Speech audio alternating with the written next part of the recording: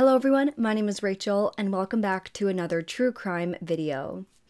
Today's case is a very interesting one where we know most of the answers, but we still have so many questions.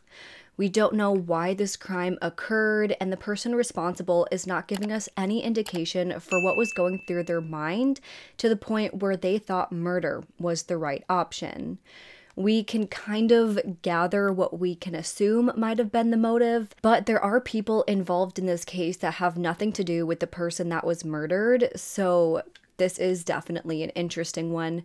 So, after hearing all of the details, I'm really looking forward to hearing what all of you think. So, this case starts on the weekend of August 27th and 28th, 2022.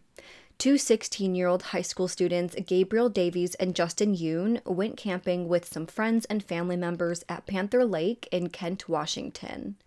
While there, Gabriel and Justin were seen by friends leaving their cabin just after midnight on August 28th before they returned back to the cabin at around 6:30 a.m. Then the two teenagers left the cabin once again at 11:45 a.m. and this time they did not return but they did ultimately go back home. On the afternoon of August 31st, Gabriel left his home for football practice at the high school he attended. But by the time practice started, his coaches and teammates became concerned because he didn't show up to practice. Later that same day, Gabriel was reported as a missing person and from there, an investigation began. As the searches for Gabriel started, police discovered his vehicle located in the Tenino area around 14 miles away from his home. Upon inspection, there was obvious damage to the exterior of the car. The door on the driver's side was still open, and the key was still in the ignition. When they looked inside, they found what they thought looked like blood on the inside on the steering wheel as well as on the driver's side door panel. Then, on the ground, just a few feet away from Gabriel's car, police found Gabriel's cell phone, which had been smashed. Then police went to the home where Gabriel was living, and in his bedroom, they found a single spent 9mm shell casing. But this shell casing wasn't collected at the time because it didn't seem to have anything to do with Gabriel's disappearance, which, if you find a spent shell casing from a firearm and somebody is missing, you would think that would have something to do with it, or at least collect it because there might be a possibility that a weapon could be involved, but I digress. But either way, police didn't search for long before they found Gabriel. He was located at around 10 a.m. on September 1st, wandering along the side of a road around three miles away from where his car had been located. At the time, Gabriel was wearing shorts, but he was not wearing a shirt, shoes, or socks. He had no visible injuries to him, so it didn't look like he had been wandering around in a deeply wooded area or anything like that during that 36 hours that he was missing. Once he was located, they took Gabriel in for questioning. Initially, Gabriel said that he couldn't remember what happened to him or even where he was during the time that he was missing. But then he would change his story, and instead he said that he wasn't able to tell police what happened to him because he was afraid that people were going to hurt him if he spoke up. Then he admitted that he smashed his own phone and left it on the side of the road on purpose because he was afraid of what police would find on it. Now, of course, when Gabriel initially went missing, police just thought that this was your run of the mill missing persons case, and that was it. But the same day that Gabriel was located, someone else had also been reported missing. On September 1st, 2022, coworkers called the police to report that they were concerned for the well being of a 51 year old man named Daniel McCaw. They said that he hadn't shown up for work in four days at that point, and this was very out of character for him. If he was going to be away for that long, he would have at least called in and let people know. So, police responded to the address located in Orting, Washington to do a welfare check on this man.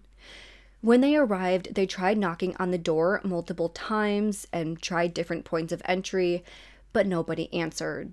Immediately, though, deputies said that they smelled the odor of a decaying body coming out of the closed front door of the home. Then, police noticed a German Shepherd running back and forth inside and out of the house via a doggy door that led into the backyard. So, police inspected the outside of the home and they found an unlocked door on the side of the house that led inside into the laundry room. So, police entered in that way. But immediately upon entering, police saw what looked like blood spatter on the washing machine just inside of the door.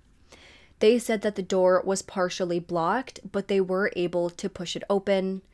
And when they did, they found a body lying on the floor in the laundry room, surrounded by a giant pool of blood. He was found lying on his back with his head resting on his left shoulder and his right arm extended away from his body. The elbow on his right arm was bent and twisted so that the palm of his right hand was facing the floor. His body had already been in a state of decomposition, with maggots all over his head and shoulder areas. Of course, these deputies called in backup to help investigate the scene. Upon inspecting the man, who was identified as Daniel McCaw, they found that he had died from a single gunshot wound to the head. The gunshot wound was located in the right temple area of his head, so they thought that maybe he had shot himself. They also found that there was no sign of forced entry into the home or a struggle of any sort. However, they found no gun near the body, and upon further inspection, they found that Daniel also had been stabbed several times to his stomach and chest area. At first, they thought that maybe this was just blood from the scene because his shirt was soaked in blood, but after looking, they did find that they were stab wounds, so this clearly could not have been a self inflicted death. Police ended up finding a single spent 45mm shell casing on the floor right behind Daniel's left shoulder, as well as a live 45 caliber round on the floor next to his body. Police then found another spent shell casing on the floor in the utility room, which was located just next to the laundry room. But this shell casing belonged to a 9mm handgun, whereas the other bullets were from a 45 caliber handgun. So now it was clear that there were two guns used in this crime. Then police went around the home to look for evidence as well. They located a detached shed on the property, and inside they found an empty drum style magazine with ammunition on the floor near that magazine. Then they found numerous gun cases, ammunition, and reloading equipment in that shed as well. They also found two empty gun holsters one belonging to a 9mm handgun and the other belonging to a 45 caliber. So again, there was evidence that there should have been those two guns in the shed, but they were missing.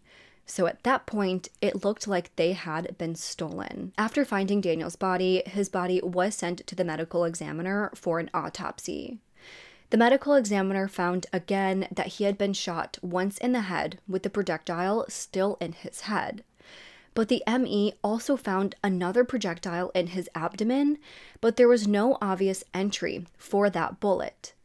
He was found to have been stabbed several times, and he had several small wounds along his arm, wrist, and forearm, all which appeared to be defensive wounds. Meanwhile, of course, when police found his body, the next step in the investigation was to speak with Daniel's friends and family members to see who could have wanted to hurt him. Well, there were some coworkers of Daniel McCaw's who informed police that Daniel had once been in a romantic relationship with a woman named Amanda Olufsen. Amanda was the mother of Gabriel Davies, so police found it peculiar, to say the least, that just after Gabriel Davies is reported missing and subsequently resurfaced, his mother's ex boyfriend is also found dead in his home. At first, they didn't know for sure if the two were connected.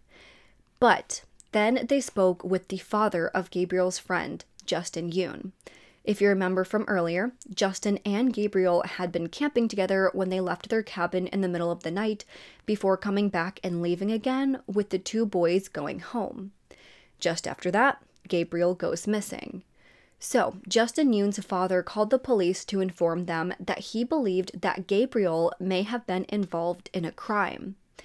This made police believe that there may actually have been a connection between Gabriel and his mother's ex boyfriend. So, police actually found that Daniel had surveillance cameras around the exterior of his home.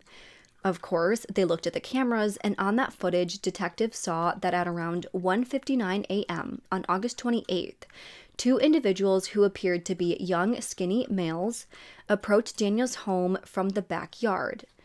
One male looked to have pepper spray on his belt.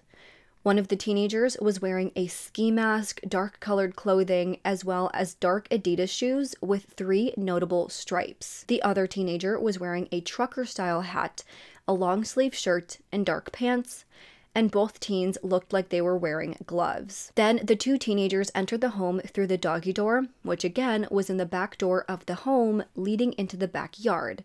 So they entered through the backyard and then went through the back door in the doggy door.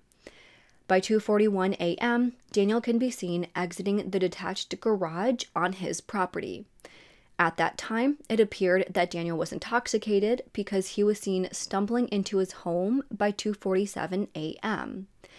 Around that same time, the dog is seen suddenly running out of the doggy door and into the yard. A minute after that, both males are seen leaving the home through that side door. Again, that side door leads to the laundry room where Daniel's body was later found. Then, these teenagers are seen running back and forth from the home to the garage for about 3 minutes before they left the property at 2:52 a.m.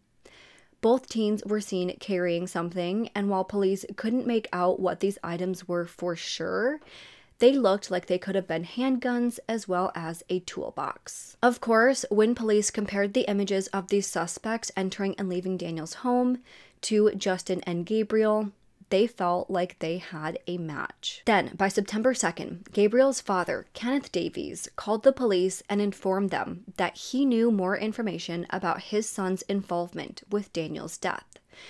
And he told quite the story.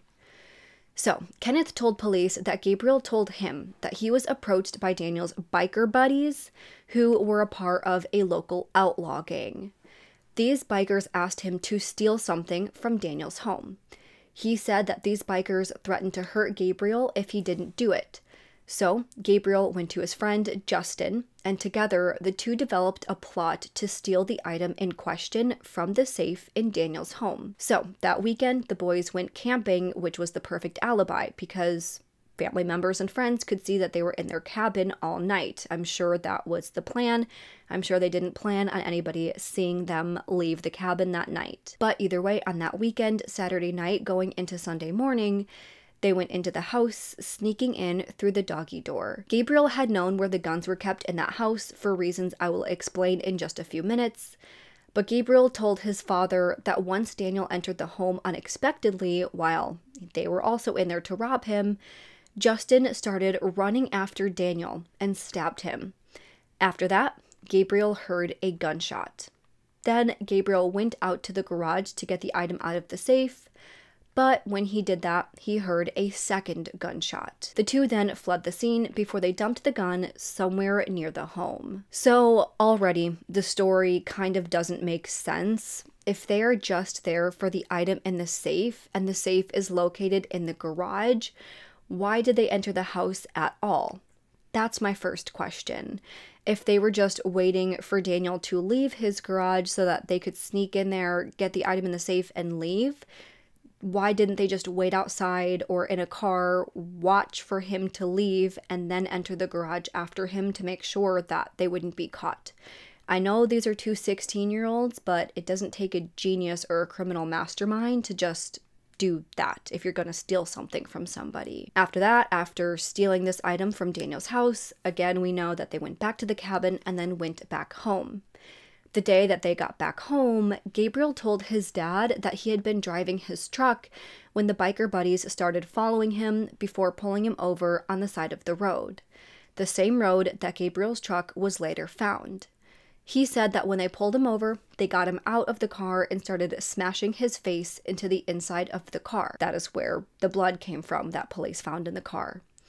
After that, they looked all around inside of Gabriel's car to look for the item that he had stolen from Daniel, but it turned out that Gabriel didn't end up stealing the item from him after all. So, obviously, they couldn't find it in his truck. Then they took him away in their own car, roughed him up a little bit in the car, took his shirt and shoes before they released him. Which, when it comes to this story, I have another question. If Gabriel and Justin went to his house to steal this item because they were so afraid of these men killing him, why do they end up not taking the item that they went there for? You would think that if they were so desperate to get this item that that would lead them to doing whatever possible to get this item and especially if they just killed someone, nothing would stop them from getting the item that they needed, but apparently they left without it for whatever reason. After hearing this very interesting story from Kenneth, police felt that they did have enough to arrest Justin and Gabriel, as well as get a search warrant to search their homes.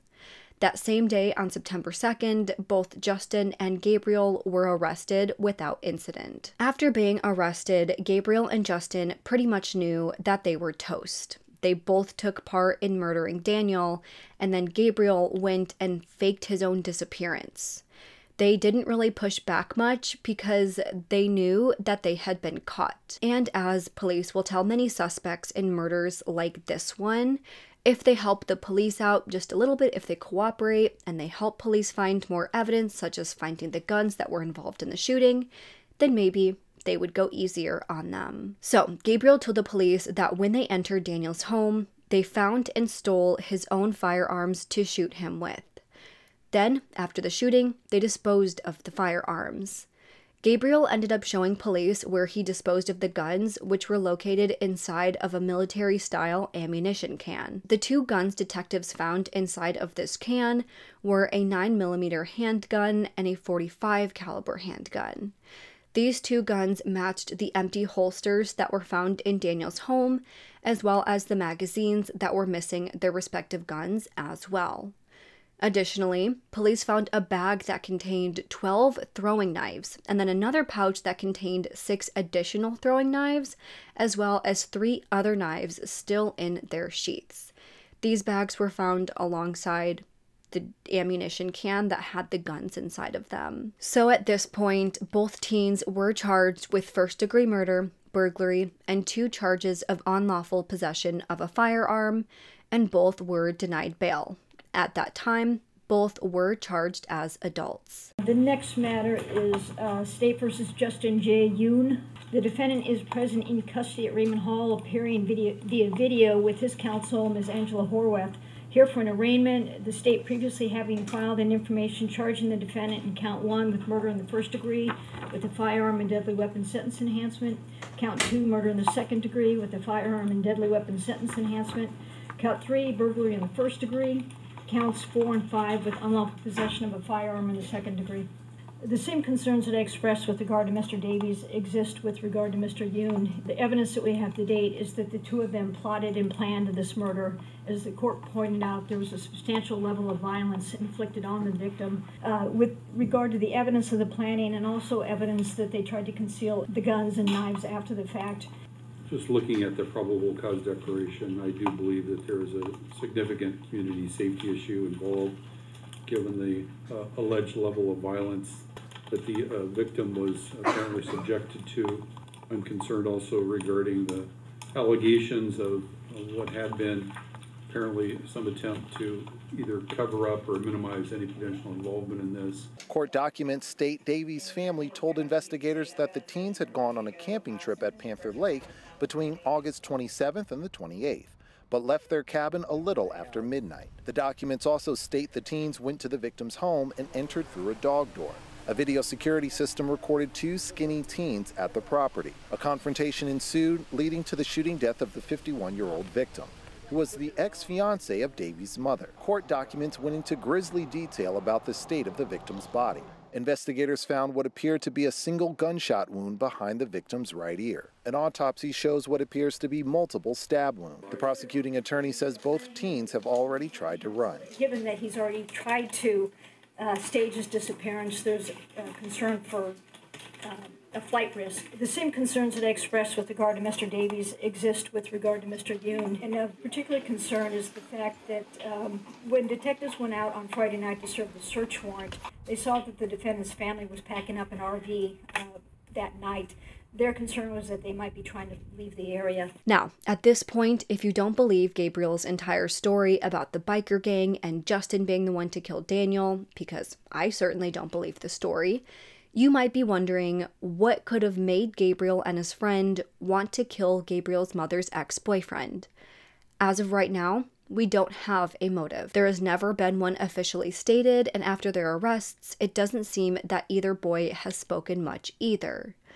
But we may be able to look into Gabriel's history to see at least what could have contributed to this crime. Now, let's take a few minutes to talk about Gabriel, his history, and what could have led up to him wanting to murder Daniel McCaw. Gabriel was born to parents Kenneth and Amanda Davies. However, when Gabriel was still very young, by September of 2009, after 11 years of marriage, Amanda and Kenneth split up. By that point, they had been separated for a year, and by January of 2010, when Gabriel was only three years old and his sister was seven, the divorce was finalized. After that, Gabriel and his sister spent weekdays with Amanda and weekends with Kenneth. At the time, both Kenneth and Amanda lived in Thurston County, Washington. After the divorce, Amanda remarried about a year and a half later in August of 2011, but once again, Amanda would be divorced for a second time in April of 2013. I don't know the details from this, but it appeared that there was domestic violence issues going on in the home. According to court documents, Amanda's then husband had been removed from the home after domestic violence accusations. After the separation, Amanda took the kids and moved an hour away to Gig Harbor, Washington. Then, four years after that, when Gabriel was about 12 years old, Amanda and the kids moved in with another man, Daniel McCaw, who was living in Orting, about an hour away from Gig Harbor. However, after Amanda moved in with Daniel, Kenneth was not happy. He said that he didn't approve of the original move four years before, but that time he let it slide. But now they moved again without his permission, and now they were living with another man that Kenneth did not approve of. Because of their divorce and shared custody, Amanda was supposed to petition to a judge for permission to move, but she didn't do that. At that same time, Kenneth noticed that his kids weren't doing as well in school as they normally had done before all of this moving around. In the custody battles, he wrote about his numerous concerns. Both Gabriel and his sister had poor attendance records, and their grades were dropping. When Gabriel was still in elementary school, he got in trouble two times for harassment or bullying, and one other time for disruptive conduct related to a dangerous weapon. I wish I knew a little bit more about that situation, but if I had to guess, I would think that he probably brought something to school like a knife or had something that he definitely shouldn't have, maybe a throwing knife. Then, by middle school, Gabriel got in trouble for causing violence without a major injury. So maybe he punched someone, kicked someone, something like that. They didn't get a big injury, but obviously, you can't just be hurting other kids at school. That was in 2017. Now, that past Christmas in 2017, Amanda and Daniel had gifted Gabriel a 22 caliber rifle. Well, in 2018, Gabriel got in trouble for bringing bullets to that rifle to school. He was suspended for this. Not only was Kenneth concerned about Gabriel, but he also saw some red flags with Daniel himself. Kenneth said that his daughter, or Gabriel's sister, had been dating a boy, as teen girls do in high school. And apparently, Daniel didn't like the kid, so he threatened to kill the boy. Apparently, Daniel even told Kenneth that if the boy returned to his home, that he would end up in jail because he wanted to hurt the boyfriend so badly. We don't know a lot about that situation. Maybe it was an overprotective father figure type of thing, or maybe it had to do with the boy's race. I say that because Kenneth also noticed that Daniel hung a Confederate flag along with the American flag in his front lawn. Say what you want, but the Confederate flag is a pretty obvious sign of racism. American flag is just fine, but obviously the Confederate flag, Not a great thing to be hanging up in your front lawn. Then, when Kenneth picked Gabriel and his sister up from Daniel's home one day, they told Kenneth that he had another flag inside. This one had an embroidered swastika on it. However, with these accusations, Daniel came back to defend himself. He admitted that he did have a Nazi flag, but it was a collector's item. He collected numerous flags, including a Japanese flag, a Marine Corps flag, and a pirate flag. Then, when it came to the boyfriend, he said that he yelled at Amanda's daughter's boyfriend because he snuck into their home and stole one of their iPhone chargers. But he says that he regrets how that situation was handled. But beyond this, there were a few other concerns that police knew about because they had been reported by family members and neighbors. Apparently, Amanda called for a welfare check on Daniel because when she spoke with him on the phone, his words were slurring pretty badly. This may have been before they moved in together, or maybe it was during a weekend that the kids weren't there. But either way, Daniel was known to be a heavy drinker, and when officers arrived that night, they noticed that he was intoxicated, but he didn't seem to be a danger to himself or anybody else. He was in the privacy of his own home. He wasn't hurting anybody. He wasn't trying to drive. There was no reason that Daniel should have gotten in trouble or anything for drinking in his own home. Then there was another time where Amanda was, I guess, seen locked out of Daniel's home. And I guess she was yelling and banging on the windows to try to get inside. Neighbors heard the commotion and called the police, and when they arrived, Amanda told them that she was just trying to see if Daniel was okay. But again, police found no issues with Daniel because it was his home. I guess for whatever reason, he locked Amanda out, so police told Amanda to leave the property. So, with these stories, it doesn't build to enough to constitute domestic violence or to say that the children were being abused or neglected but it does show that they didn't have the most stable home life. Having a heavy drinker like this in the home is not the best thing for kids to be around. And Amanda, you know, breaking up with someone and then moving and then breaking up with them and moving again, that's just not the best situation for kids to be living in, anyways. So, after all of these concerns were raised, it did seem that the judge decided that the best, most stable situation for the children was for them to live with their father, Kenneth. So, by the summer of 2018, the kids were sent to live with him just in time to start the new school year. Again, this did seem to be the most stable situation. Obviously, it wasn't the ideal situation because moving again is definitely not easy but the hope was once they move this one time, that'll be it, and they'll be able to just adjust into their new home life. But it wasn't long before more concerns were being raised. By January of 2019, Gabriel's older sister, who was 16 at the time, had been pulled out of class by a guidance counselor because her grades were dropping. But it was at this time that she confided to the counselor that her dad was physically abusive at home. She said that her dad would drink so much that he became aggressive and angry and would grab her wrists to the point of injuring her.